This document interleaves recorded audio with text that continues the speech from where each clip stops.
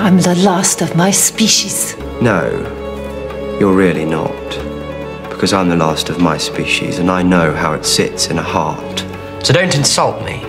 Your race is dead. You all burn, all of you. Ten million ships on fire. The entire Dalek race wiped out in one second. My people fought a race called the Daleks. I watched it happen. I made it happen.